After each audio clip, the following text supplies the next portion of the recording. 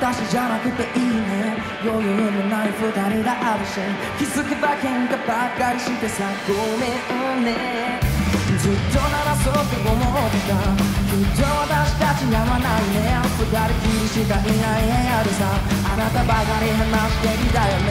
もしいつかどこかで会えたら今日のことを笑ってくれるかな。理由もちゃん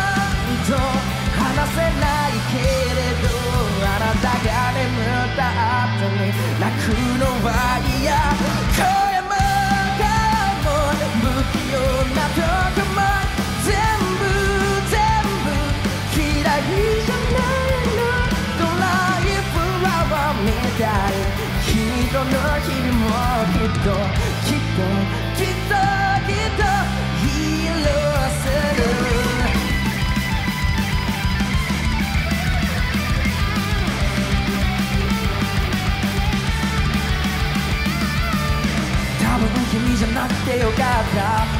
んかされることもないし私ばかりなんて言葉もなくなった。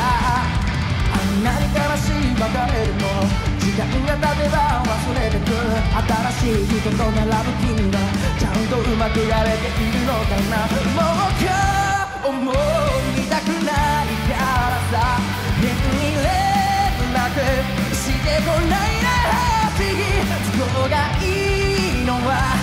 わってないんだねでも無視できずにまた少し返事声も顔も。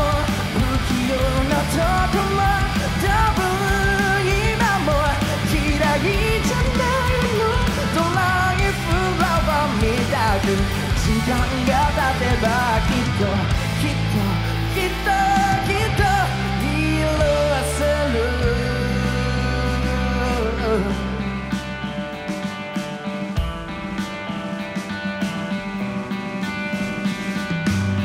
きりのものが揺れる。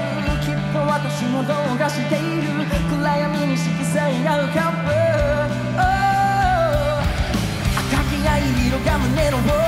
ずっとあなたの名前を呼ぶ好きという気持ちまた変わる、